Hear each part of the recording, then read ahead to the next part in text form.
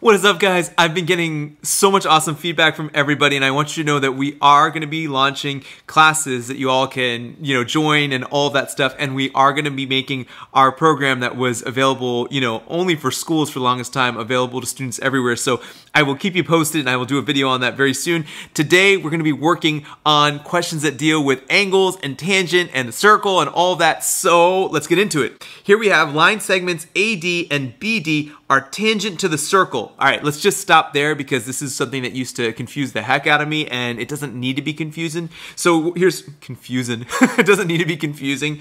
So we have AD, okay, and we have BD. And both of these are tangent to the circle, right, with center C. So this is the circle. So here's the deal.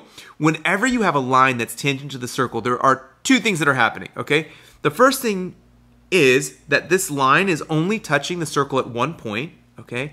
And then the second thing is, so each of these, this is the one point where that line's touching. The second thing is that it creates a 90 degree angle with a line from the center, with the radius, okay? So this here, okay, this here to here has to be a 90 degree angle. And, you know, the drawing that they've given us, the figure here, is not perfect, but it doesn't have to be, okay?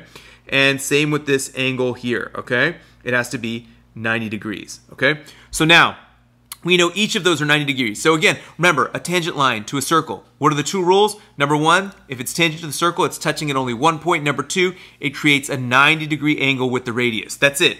If you draw a radius from that one point where it's touching, what do you create? A 90 degree angle, okay? So now, what is the value of x in the figure above? So we're looking for x. Now here's the deal. This is not as hard as it seems. All we have is a four-sided figure any four-sided figure, okay, has a total number of internal angles. They, the, the measure of the internal angles has to be 360 degrees. It doesn't matter if it were, you know, uh, something that looked even weirder than this. It's always 360. And one rule for any figure, if you're trying to figure out the total number of degrees, it is n minus 2 times 180, where n is the number of sides, okay? So here, if we know that our total is 360 degrees, okay, if we know that our total is 360 degrees, all we have to do is say 360, okay, minus 60, all right, minus 90, minus 90, okay,